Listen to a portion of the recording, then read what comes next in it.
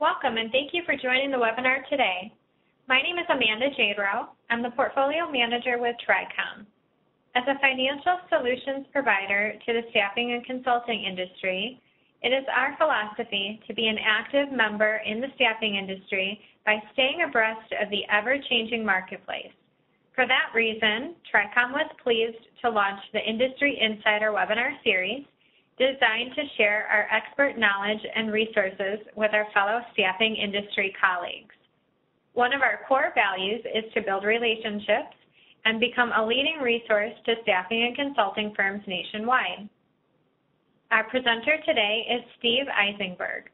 Steve is the president and founder of ASJ Partners, the staffing firm, the staffing industry's premier marketing agency. His technology background and extensive staffing industry experience provides him the expertise required to develop customized marketing plans designed for staffing and recruiting firms. Steve has an MBA in Finance and Marketing from St. Joseph's University and a BS in Finance from Syracuse University. ASJ Partners is an expert at accelerating revenues for staffing companies through unique, customized, and highly targeted marketing programs. These industry-specific programs help staffing companies sell more, grow more, and be found more. Their expertise includes websites, social media, SEO, blogging, branding, mobile apps, email marketing, and sales campaigns. Today, Steve will be presenting Generate Revenue using Google and your website. In today's highly digital world, your staffing firm's internet presence is vital to growing your client and employee base. Learn how you can use the leading search engine to enhance your firm's organic search results and increase the ranking of your website. In today's Industry Insider webinar, Steve will discuss how to generate more leads via Google, how to increase the chance of being found on Google, how to grow your business without adding staff, and how to make your website a conversation tool. By the end of this session, you'll know how to use Google and your website to increase revenue. If you have any questions during the presentation, please utilize the Q&A feature located on the right toolbar. After the presentation, there will be time for questions and an opportunity for you to give us your feedback on today's webinar by completing a short exit poll. Please join me in welcoming Steve Eisenberg. Thank you, Amanda, and thank uh, you, TRICOM, for setting this up. Um, as Amanda said, today we want to take you through um, Google, your websites, and internet marketing. Marketing has grown up in the past few years, and we all know it's a talent war. Uh, almost every client I speak with today has a lot of job orders. Not that we all don't want more job orders, but everyone is scrambling for the candidates. It is a cyclical business, and right now, uh, everyone is looking for job seekers. So, what I want to take you through is why is Google important? What are some of the key components of Google? More importantly, how do I make money? Last time I looked, we are all uh, in business to make money. Google's the new Yellow Pages. How does that matter? Remember, for most of us 20 years ago, if we were in business, we all spent a fair amount of money advertising in the Yellow Pages. That was the way people found us. They pulled out the Yellow Book in their geographic area. They probably went to staffing, and if we didn't have an ad there, we wouldn't be found. Google has replaced those Yellow Pages. And finally, how do we go viral? So here are the key components. There, we're going to go through five of them today. The first one is Google Pay Per Click. Some of you might know it as Google AdWords. The second one is Google Remarketing. This is Google's newest tool. All of us have been remarketed to, and maybe we were not even aware of it. Uh, the other Google tool is SEO, search engine optimization. Probably most of us have heard about that. Uh, it's Google's most mature service. It's been around for a while, and we'll take you through the difference of the three and the pros and cons of each one. your website. Web technology has really significantly changed in the last year or so. Websites are becoming a conversion tool. The look and feel of websites are different. Mobile is imperative. Um, so we're going to take you through some of the new looks of the websites and why they might be important to your firm as a competitive advantage. And then obviously blogging. Uh, you know, most of us might know a lot of these, but we're going to go through how these things might be important to us. So the first one I want to go through is Google Pay Per Click or Google AdWords. Uh, the reason it's called pay per click is when people click on your ad, there is a fee that is remitted to Google. In our industry, the fees per click run between about a dollar and a half and three and a half dollars. And I'll take you through uh, how that works and what that looks like, but that's typically what we pay on a click. Excuse me, taking a drink. Uh, Google calls pay per click Park Avenue. These are the ones that sit up at the top. These right here, these are what we call the paid advertisements, or in a lot of search bars, they show over here on the right. Um, the price from a price competitive point of view, position number two is the most desirable. But either way, you're going to show up in the top three. When you get below the top three, what this would be, this would be what's called an organic search or what we would call search engine optimization. Now, the way it works is for specific keywords, and I'm going to take you through one specific client. Uh, and to protect the clients, this client sits kind of on the fringe of staffing. Um, both a pay per click and a remarketing and an SEO campaign of just really for how it works and the mechanics of it. So, what you typically want to do is you want to understand what keywords you would want to be found when people go to Google to look for goods and services. Remember, all of us use Google to look for goods and services. It's really the only way we find particular products that we're looking for.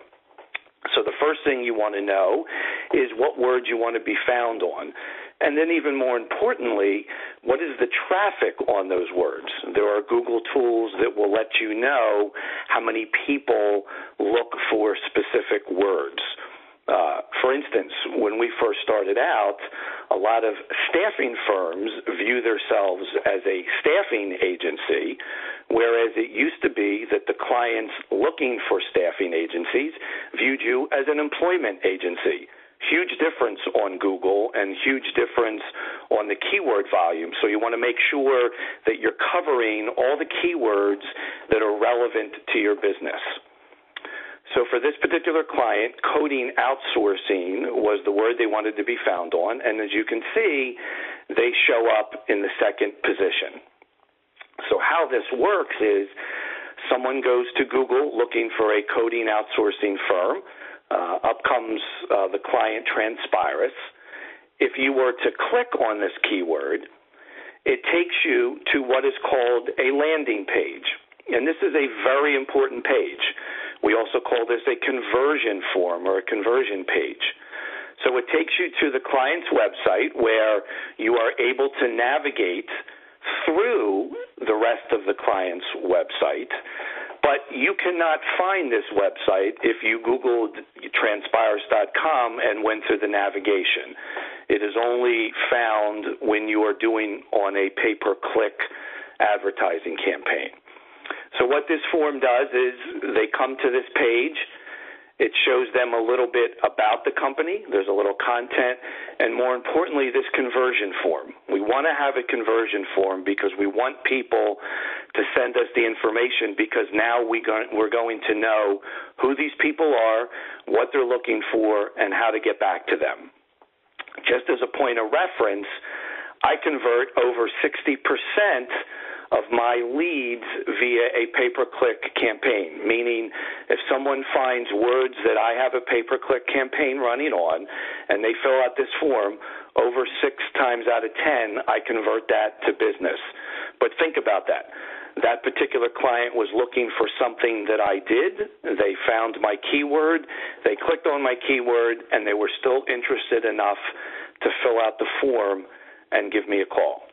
So one of the only things I have left to do is I'm probably not the only provider that's providing that service. So it's obviously still a competitive environment, but this is what I call a very teed up lead. They were looking for me and they found me. So that is really why Google pay per click is important. The next step is when you're running a pay per click campaign, you can run that in in congruence with remarketing or do remarketing on their own. But what happens is someone hits uh, your website and a cookie is installed. And the cookie sets up this advertisement. So if you remember before, the client was Transpirus. So an ad for Transpirus is now showing up on my terminal and we all probably had this done to us over the uh, Christmas holiday season. If you went to any large retailer, any sporting good, Amazon, etc., and looked at a specific good or service, an ad for that particular product followed us around.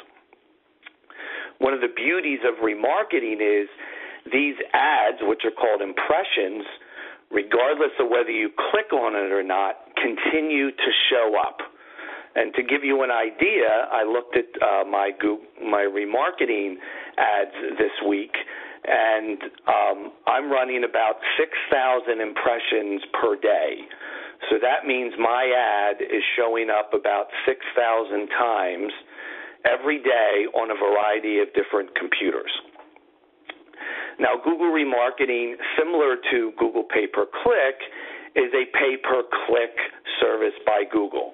So if someone were to click on this, and these clicks generally run a little bit higher, but once again, it's a little more targeted because they've been to our website and we've tagged them. So if they click and go back, the interest is significantly greater. And what happens now is we create a different landing page. And more importantly, we want the visitor to know that we know you've been to our website. So we want to tell them, welcome back. We want them to know that we know that they've been there. Same type of form, some content about the particular firm, but once again, here is this conversion form. We want people to know, we want to know exactly who's coming to our page. If we don't have this conversion form, all Google is going to be able to tell us is how we spent our budget on our pay per click and how many people clicked, but we're not going to know how many. Now, realistically, not everyone is going to fill out this form, but the ones that do give us the ability to follow up with them, add them to our database, and know that they are looking for the service that we have. On this particular thing, clients are seeing over 70% conversion rate because this is even more targeted than pay per click. They've already been to our site once. They had an ad follow them around. They clicked on that ad because they were still interested in the service that we might be providing and they filled out the form. So as you can see, certainly in a talent war, we can have keywords that are targeted towards candidates. We can have t- keywords that are targeted towards clients, or we can do both. What's even really exciting with remarketing is we can put the tag on specific pages of your website. For instance, if you only want the ad to follow around the job seeker, we will assume that the people that hit the job seeker page are predominantly the job seeker, and the ad that follows them around can say, still looking for that job or whatever we want it to be. Or we can make a more generic tag and tag the home page that we're going to follow anyone around. Or we can do both. So it's very targeted from Google. It's relatively new, probably in the last two to three years. You've probably had it done to you, but more importantly, this is the fastest growing aspect, and certainly in the staffing industry, a small percentage of the firms are doing this. So it affords you a competitive advantage to be ahead of the curve and be ahead of your competition. SEO, organic search, uh, we've all probably heard about this. Uh, to be honest, this is becoming more and more difficult to get clients to the home page. This is Google's most mature service. Uh, firms have been doing it some now for 10 years. Um, if if you are on page four or five, it's going to be very difficult generally, and it's a slow process to move you up to the top of page one. So we strategically have been moving most of our clients to the pay per click and the remarketing because A, you'll get a much faster ROI, and all of us like to get a faster ROI. Plus, it's much more immediate. Uh, it does not mean that you should not do SEO. It does not mean that SEO is not important. It's just understanding your probability of where you are how likely you are to get to the top of page one, and how long it might take you to get there. So just understand that if you're looking to spend on a recurring basis. Like I said, it doesn't mean you shouldn't do it. Just understand that it might be a little bit of a long haul. And as we went there before, you know, SEO, similar to pay per click, understand uh, the words that you want to be found on, understand the volume of those words. It's great that you might show up number one or number two on organic search, but if only five people are doing that search, there's probably better words that you might want to be found on. So, kind of understand your strategic goal of where people want to find you and match that with the volume that Google has on those specific words.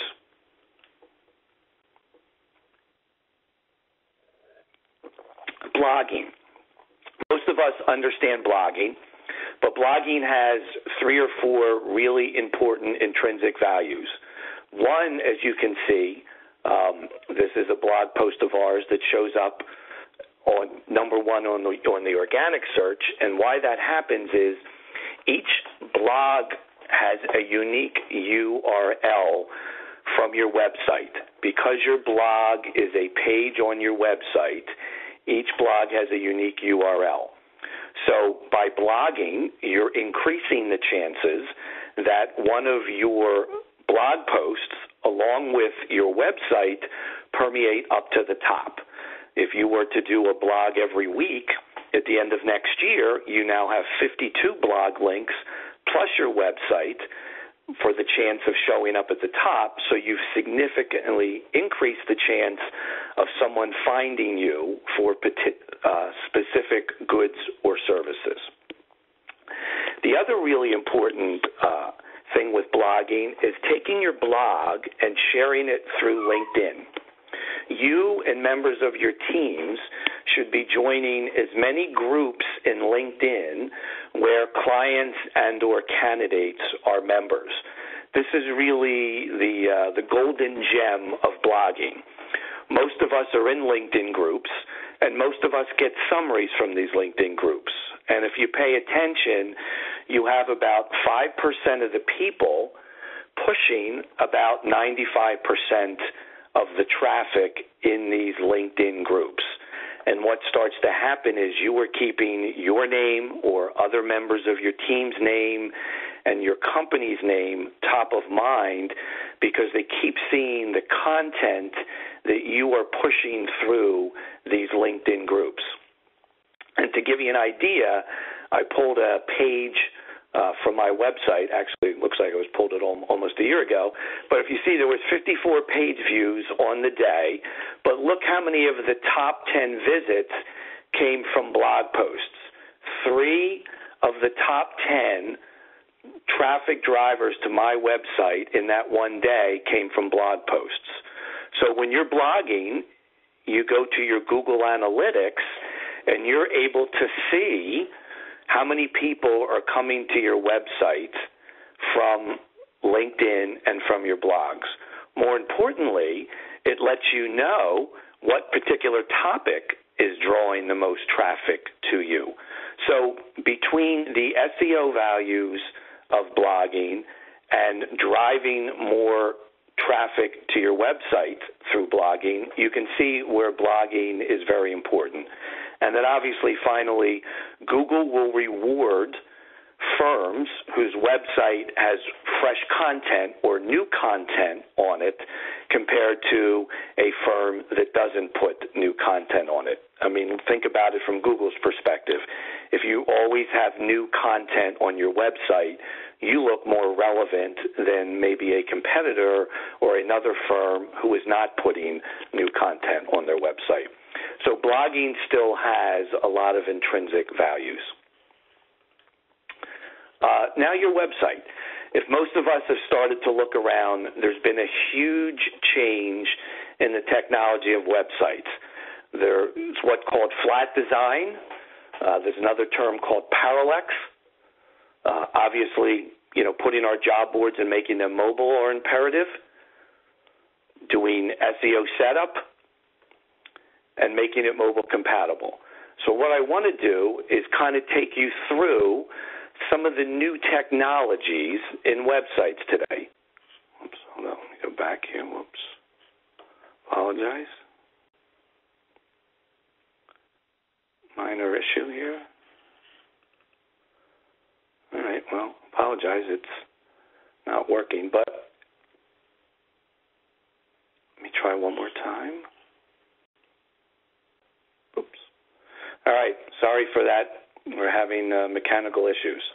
Um, but what this is, is if you're starting to see some websites now, when you go to the landing page, the websites are partitioned. I'm looking for the perfect employer, I'm looking for work. Makes it real easy. We know which one we are, and we click and we peel into that particular website. Does this one work? Nope. Sorry about that.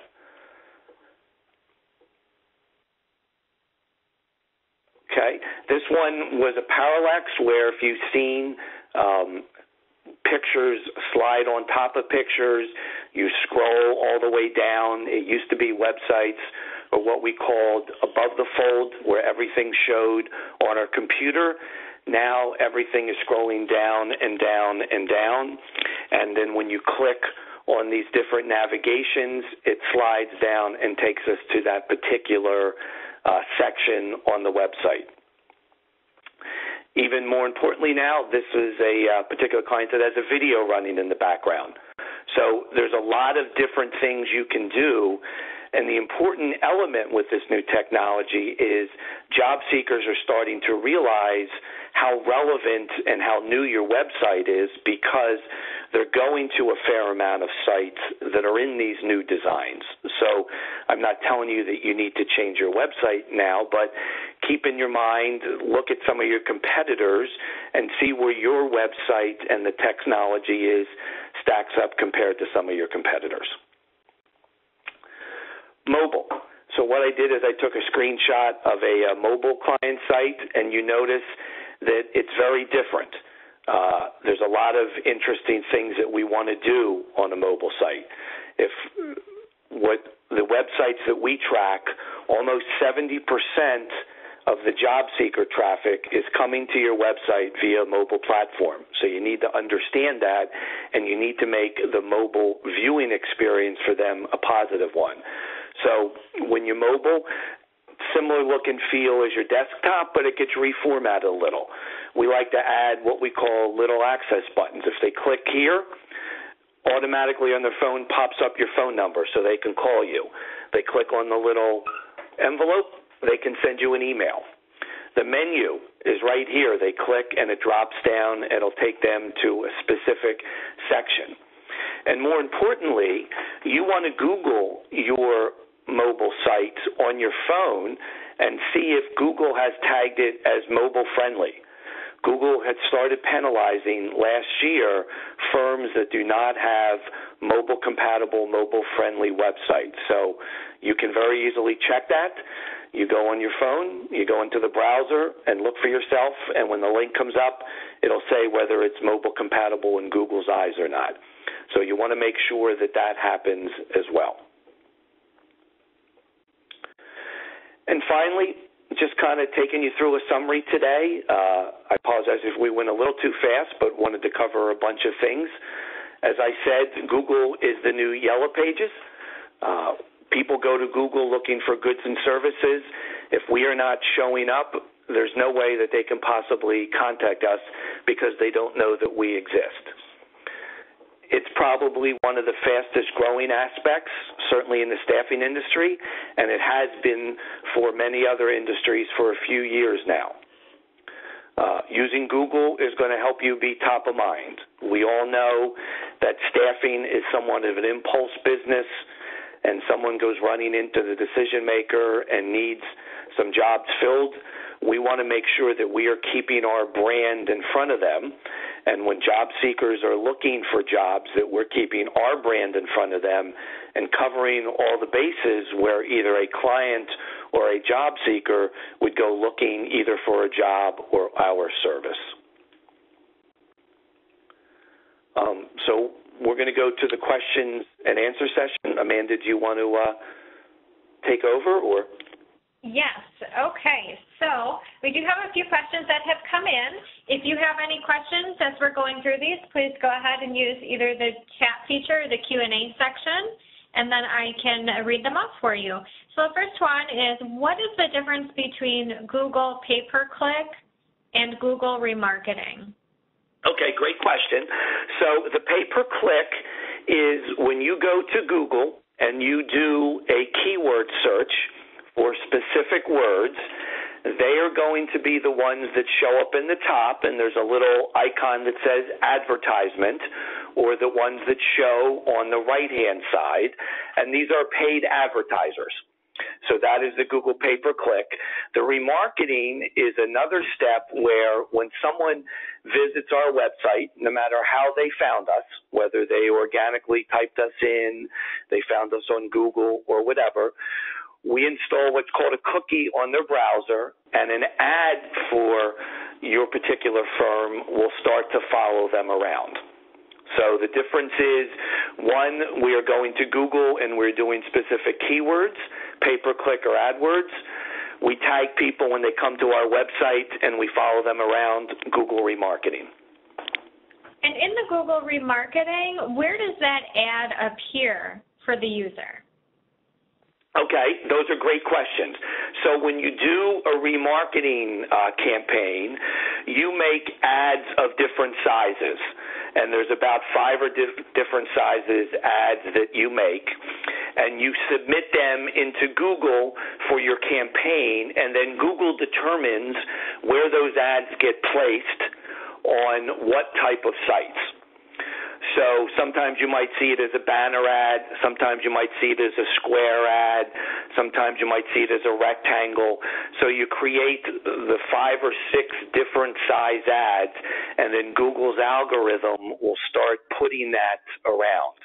Um, and the beauty with all of these pay per clicks is remember, we can set our budget on a daily basis and this is how Google keeps making money. So if you decide you want to spend $300 a month on Google ads, that's $10 a day. As soon as you spend the $10 a day, your ads will stop showing or when people do a keyword search, you will not show up in the top on Park Avenue. So that's Google's way of protecting you so you have some control of how much money you spend.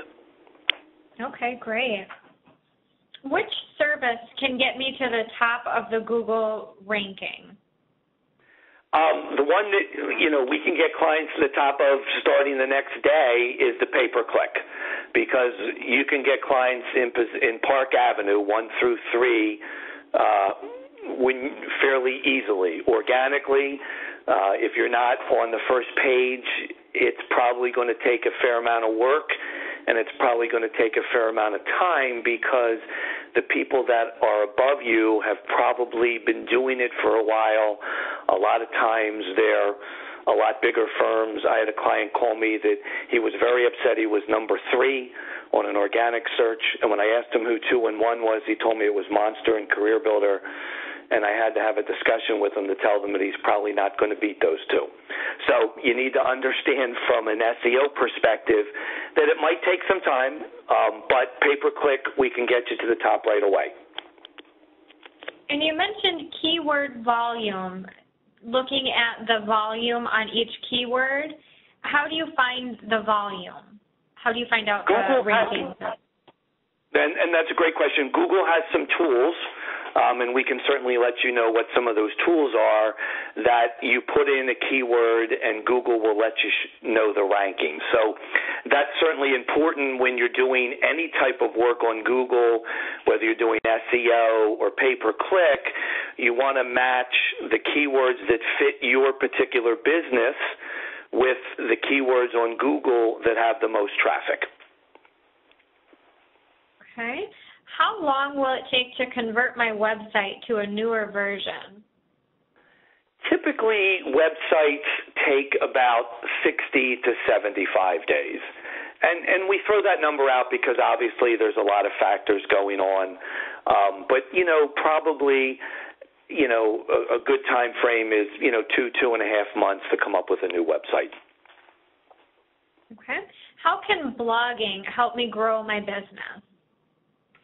Well, blogging can help you grow your business if you looked back when I showed you the Google Analytics of the people coming to my website. You can see that when when I look at the blogs that I put on my site and I track it back to my website, typically the people are spending over two minutes on my website and looking at over two pages of my website.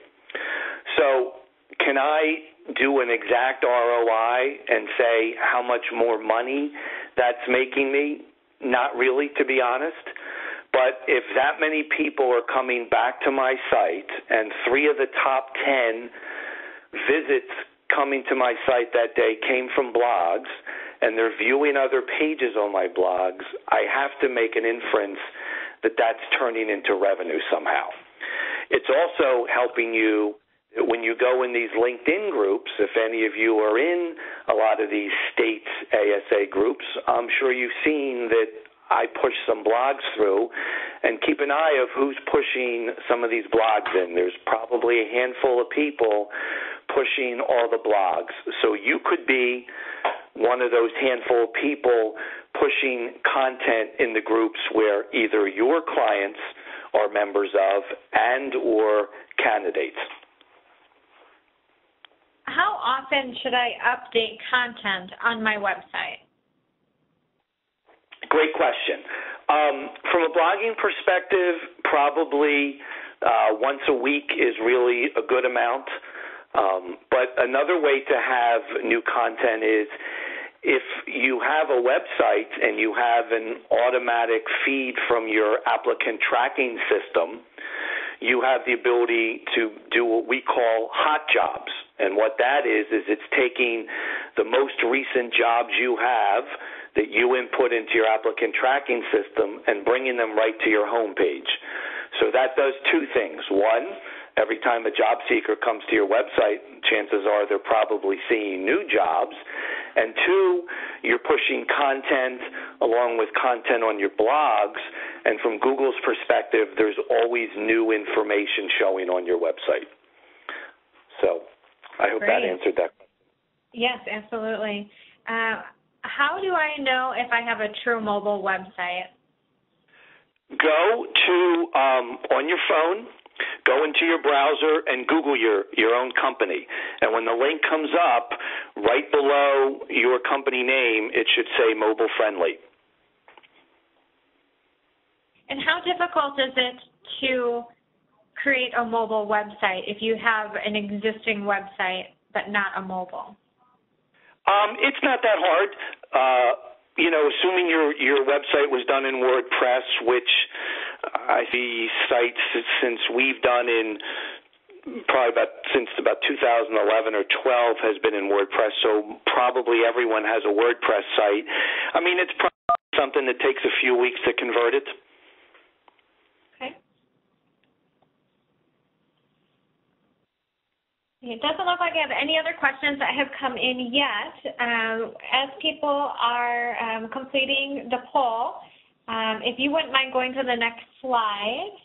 Oh, that, that is the last slide here with the contact information. So if you'd like to find out more information about um, your website or um, how to generate revenue using Google, please reach out to, to Steve or myself if there's any other questions that we can answer for you and, and have an offline conversation.